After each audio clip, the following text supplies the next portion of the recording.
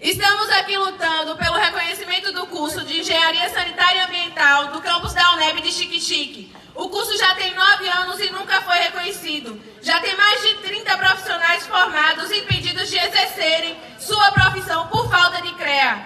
Os alunos que hoje estão cursando estão sendo lesados.